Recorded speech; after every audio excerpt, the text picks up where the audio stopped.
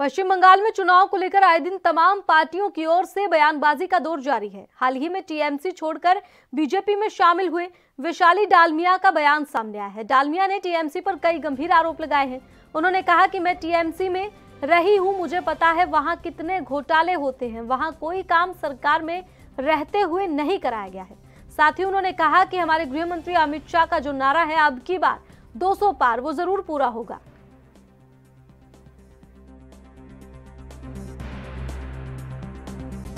अमित शाह जी बोले हैं, इस बार 200 पार वैसे ही होगा और बहुत आगे जाएगी बीजेपी और पब्लिक के दिल में बस गई है। ये है इम्पोर्टेंट चीज़ कि पब्लिक जानते हैं कि बीजेपी जो है, अपने दिल में वो लेके चल रहे हैं और वो लोग चाहते हैं कि चेंज हो।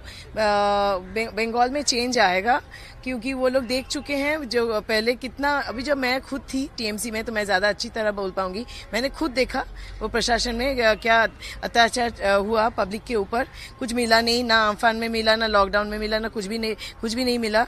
तो मैं मैं तो देख चुकी हूँ कि जो अंदर में क्या, कैसे क्या घोटाला चल रहा था। तो इसीलिए मैं तो ऊब गई थी। हाँ मैं डायरेक्टली बात भी की। तो टीएमसी का ये पसंद नहीं आया तो बहुत अच्छा हुआ।